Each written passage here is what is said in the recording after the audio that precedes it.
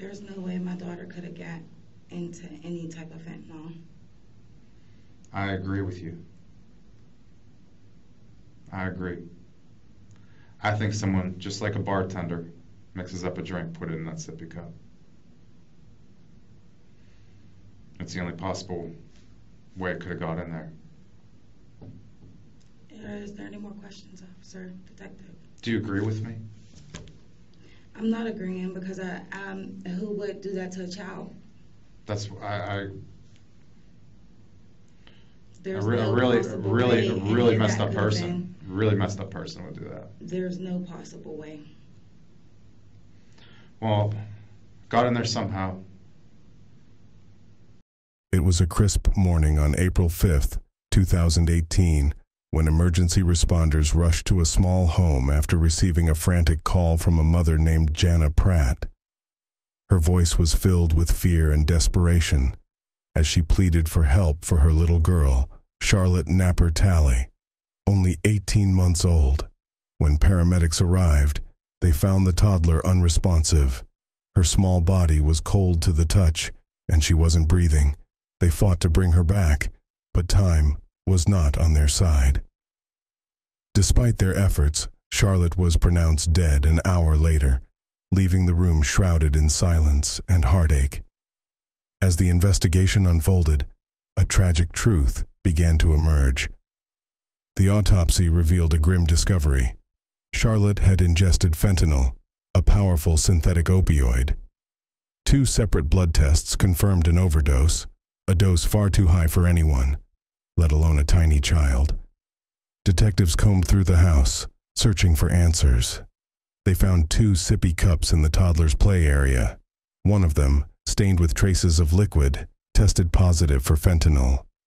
The seemingly harmless cup had become the vessel of a fatal poison, leaving a shattered family to grapple with the unthinkable loss of their baby girl. You guys took a nap. We on the barely, we barely fell asleep. By the time I was actually, you know, like dozing off, Miss Vernon was knocking at the door. Okay, and at that time you put her in her bedroom, or left her on the couch. At this time, I had picked her up because she was laying with me on the couch. I'm not sure if she was on top of me or beside me at that point. Yeah. Um, I picked her up and I laid her on the couch. And I opened the door and I came to get her off the couch and I put her in her bed. Okay. Listening to Jana Pratt recount the events of that tragic day, you'd never guess she was a mother who had just lost her daughter in such a horrific way. Her voice was steady, almost detached, without a single tremble. There were no tears, no signs of grief washing over her. She didn't even appear to be in shock, which might have explained the unsettling absence of emotion. Um, did you, did she eat or drink anything? My boyfriend told me he made fish sticks Mhm. and I want to say like french fries or something. Okay, no, um, that was earlier in the day when you guys got back. Did she Mhm. eat or drink anything? No, she didn't eat or drink anything. She had left her, he said she, she didn't want her sippy cup before they walked out the door to come and get me. So he left the sippy cup there. Which when she sippy got- cup was that? To my knowledge, it should have been the pink one. The pink sippy cup? hmm And where was that located? I'm not even sure. I wasn't there. Here, it sounds as though she's laying the groundwork to shift the blame onto her boyfriend. At the very least, her words ensure he will be questioned, if only to determine whether he might have been an accomplice. Did he have that or did she have it? It was left. It was left there. She didn't want it on the way out the door. Okay, when you say on the way out the door, you mean, When they left to come To and get come me from get- school. okay, when you came back, did she, that pink sippy cup, do you remember I remember where didn't even see the sippy cup. Did you give her the sippy, sippy cup at all? I didn't see the sippy cup. Okay. Do you remember it being in her, in her bedroom? That sippy cup? I think I might have found the sippy cup on the way to. I don't, I'm I'm not sure. I just remember, I believe, putting the sippy cup in her bed with her. Okay. Did you put anything in the sippy cup? No, there was a red liquid in it, and I know we had Huggies. Yeah, I remember seeing some Huggies in there. To my, to be more specific, Happy Drink Huggies. Is that what they're called? Mhm. Okay. Um, did you, when you were living, I mean, I'm just going to show you the, the picture. This is,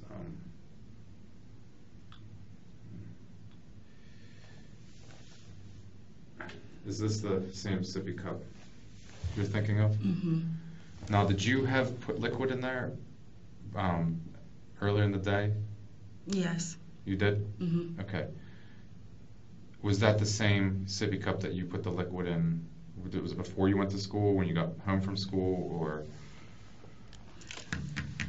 I put a, a different juice drink in there, and she had a complete fit, and she didn't drink it. Okay. So, how the red liquid got in, he changed her sippy cup when he fed her. Okay. He said she drank a little bit and threw it. Okay. Out of that sippy cup. Mhm. Okay. Um, when you lived at that address, um, did you get anything delivered in the mail from overseas? I had just ordered her entire room from Walmart. I don't know if that came from overseas or not. Well, Walmart won it. I'm saying, like, did you order anything that maybe that you know might not have that might have been out of the ordinary? Any type of The detective questions her about any recent purchases that could have been imported from abroad, aiming to trace the origin of the fentanyl. Given that fentanyl was relatively easy to acquire from China at the time of the crime, this inquiry is vital to the investigation. anything from a different country. No, my mother purchased the baby gate that was in her room. Okay. I believe she purchased that from Walmart also. There would be no reason like you would get any packages, say from China or from Japan or anything like that. Like directly from them? Yeah. Don't think so. Okay. But to your knowledge, you I ordered everything from Walmart. Okay. Um, so just to be clear, the, the, the stuff that was in that sippy cup, you did put in or you did not? I did not. Okay. Okay. Do you have any idea? Um, well, let me, I'm just gonna cut, I'm just gonna be blunt to you. Your child died from fentanyl poisoning. So why did CYF tell me hypoxic cardiac arrest? They were, there weren't lab results then. So I'm gonna explain this to you, okay?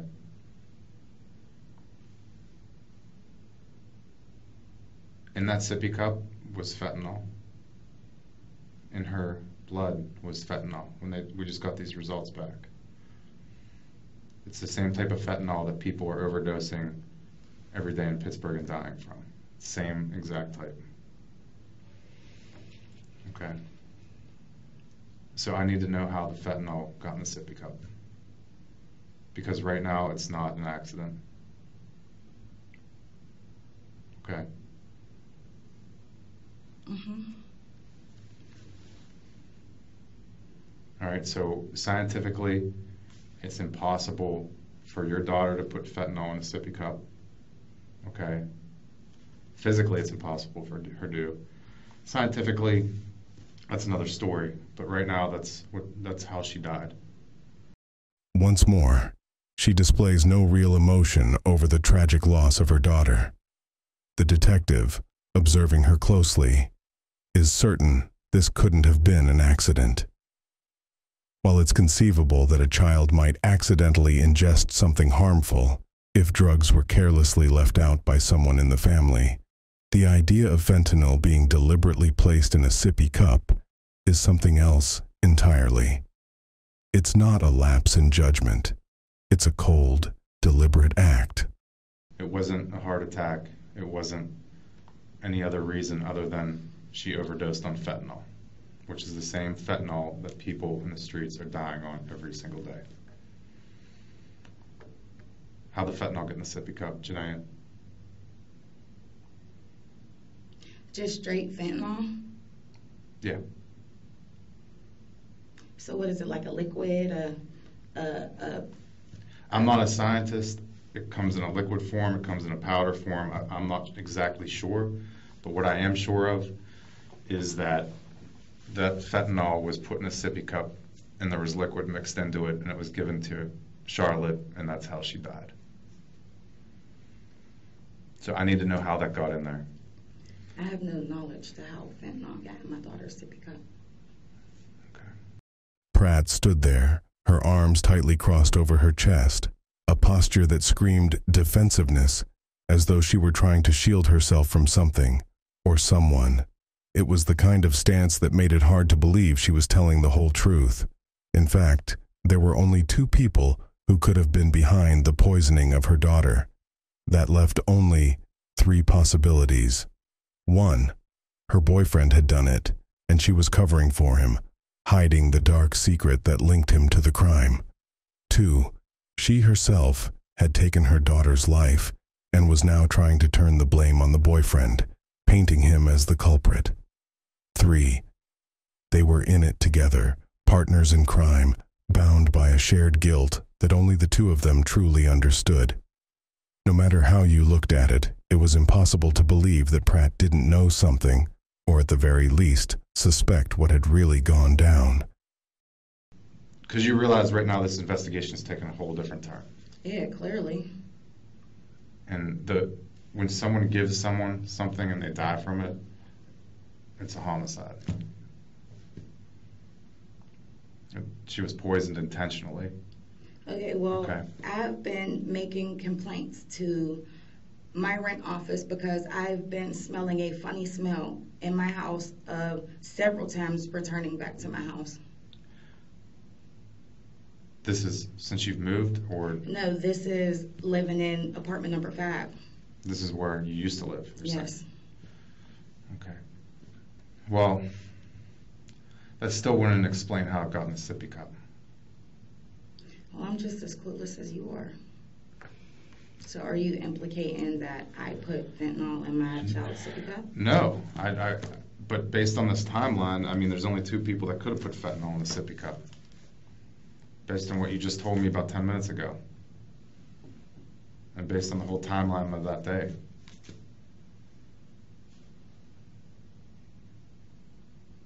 I need to know how it got in there, because this, this investigation is not going away. Okay, and I'm telling you, I returned to my house from being picked up from school, Mm-hmm. and I did nothing out of the usual. Okay. We took our stuff off, and she ran around and played, and I'm waiting for my social worker to come. Do you get fentanyl delivered from China? I have, I know, I don't know anything about fentanyl. Did you ever put anything in her sippy cup other than Huggy No. juice? She's drank water, she's drank milk, she's drank Kool-Aid, liquids. But have you ever put anything in there? No, I have not, Okay. other than, I mean, because some parents will give their kids a little bit of, you know, Benadryl or something like that, so they can, no, that doesn't go in a sippy cup because it's supposed to be measured out, and Benadryl's not supposed to be drank, Tylenol's not supposed to be drank over specific amount of hours, it's supposed to be one dose and that's it. right, I agree with you. I agree with you, but people, parents. I'm not one of those people Okay. or parents. Okay, that's what I'm asking. She's growing more and more upset, but the fire in her eyes isn't burning with grief for her daughter's loss. Instead, it's the accusation that seems to fuel her anger, as if the very suggestion that she might be involved in her child's death is an affront she can't bear.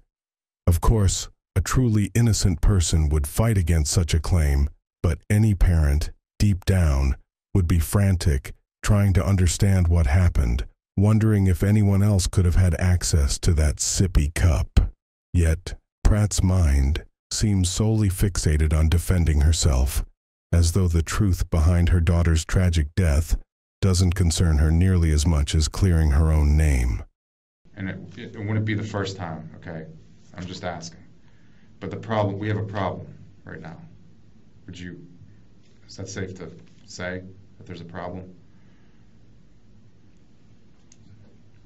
I mean, I have, I have, I have to figure out how this got in there, because your baby is, can't tell me.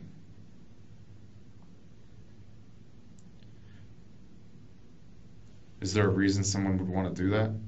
With some, is there a reason why fentanyl would be in a sippy cup? No, there's not. And no, there's not a reason anybody would want to.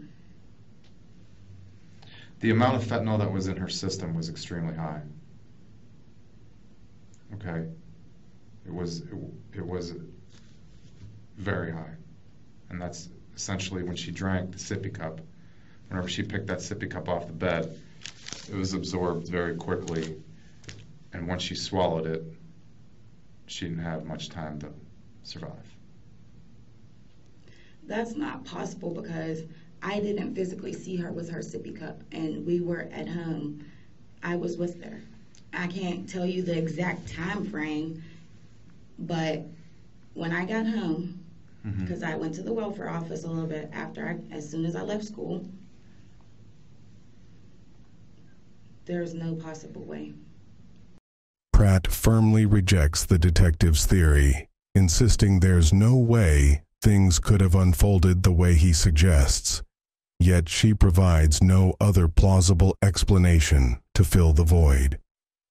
Without any evidence to back up an alternative story, her denials seem empty, as if she's grasping at straws. The detective, visibly strained and doing his best to hold it together, is clearly struggling to stay composed. It's no surprise. Handling a case involving a child's death can shake even the most seasoned officers to their core. That sippy cup I showed you that picture of, that's the sippy cup that had it in it.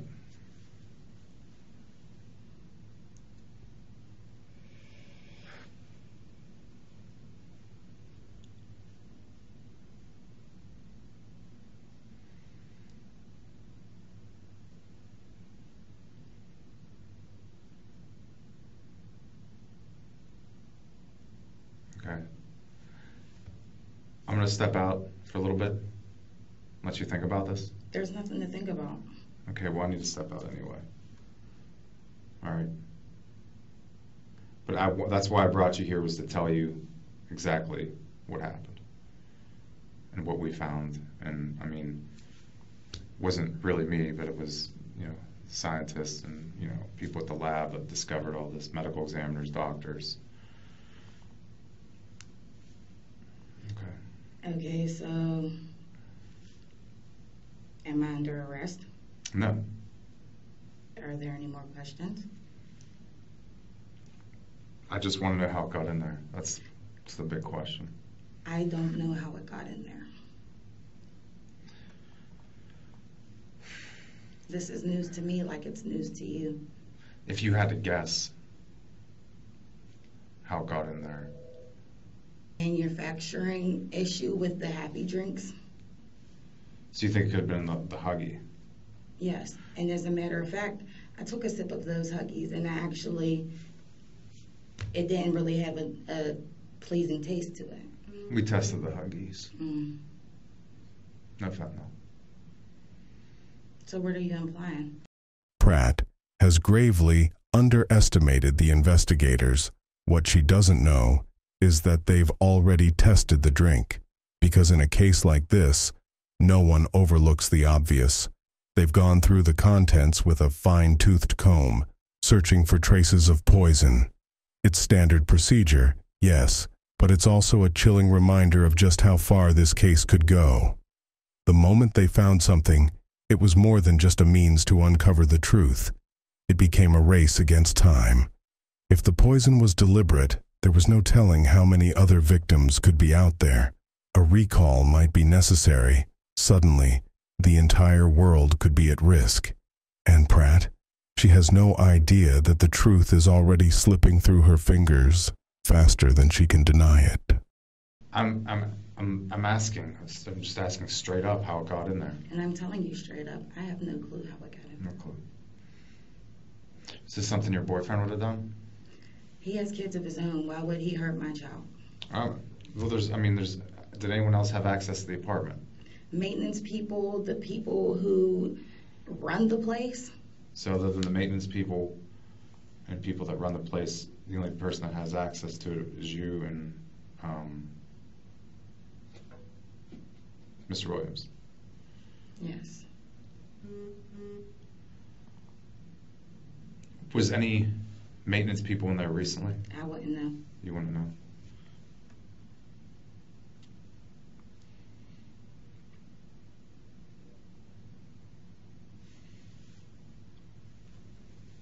Does anyone, was anyone in your house that uses heroin?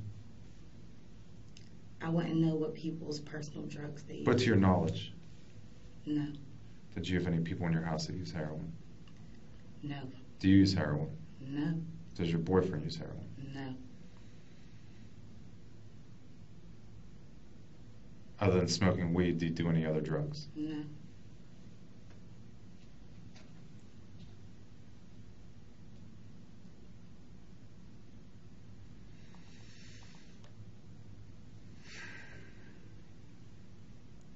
All right. Well, it's my job to find out how this got in there. Okay, at this point, and like right, this isn't going to go away. This investigation is not going away until I find out. Okay. When you find out, you let me know. I definitely will. I Any definitely further will. questions? Um, I mean, you already told me she was acting fine. She was, she wasn't sick. You guys got home, you take a nap, you fall asleep together on the couch. Social or the Urban League lady comes, you take her into her bedroom. She falls asleep in there, Urban Lady leaves. She was asleep before I put her Oh, she was still asleep. Mm-hmm. She stayed asleep. Urban lady left. And you went to check on her, and that's when you found she was unresponsive. And there was the pink sippy cup on her bed. And you called 911. Police showed up first, and then the medics. Correct? I don't know who showed up first, honestly. Okay. I just, I really want to know why your baby had that large amount of fentanyl in her. I would too. I mean, she was enough to kill a very large animal. There's no way my daughter could have got into any type of fentanyl. I agree with you. I agree. I think someone, just like a bartender, mixes up a drink, put it in that sippy cup. It's the only possible way it could have got in there. Uh, there any more questions, officer, detective? Do you agree with me? I'm not agreeing because I, um, who would do that to a child? That's, I, I, I There's re- a no really, really, really messed up person, really messed up person would do that. There's no possible way. Well, got in there somehow. With a dose this high, survival was a cruel impossibility. The toddler never had a chance. The poison sinking in too deep, too fast. But Pratt, cold and calculating, dances around the truth. She refuses to say it was deliberate, knowing that one slip, one hint of acknowledgement, could bury her. Her silence is deafening, as if she's testing the waters, gauging just how much she can get away with. It's not just fear that holds her back, it's the chilling knowledge that admitting the truth could brand her as a murderer. The room feels heavier with each passing second, the walls closing in as she carefully plays her hand, knowing it might be her last. That was in her system. Okay. Any more questions? No. Am I under arrest? No. Can I go? Sure. Pratt's voice slices through the air, her demand for an arrest dripping with impatience, as though she's entitled to an answer. When the detective finally tells her she's free to leave, she doesn't even blink. Without a second of hesitation, She turns and heads straight for the door, her steps unnervingly calm, as if nothing had happened. Not a flicker of grief, no sign of remorse, just an empty, chilling detachment. Her daughter's death doesn't seem to even register, leaving the detective frozen, his mind reeling with more terrifying questions than answers. Then, on June 4th, 2019, the courtroom becomes a suffocating silence as the jury prepares to deliver its verdict. The tension is unbearable. When the decision is read aloud, it lands like a slap in the face. Instead of first degree murder, Pratt is found guilty only of involuntary manslaughter. The room fills with shocked murmurs. Only 10 years at most for ending her child's life. It's nearly impossible to comprehend, given the mountain of damning evidence against her. What's even harder to stomach is the terrifying thought that this slap on the wrist might not just go unpunished, but might embolden her to commit something even worse once she's back on the streets.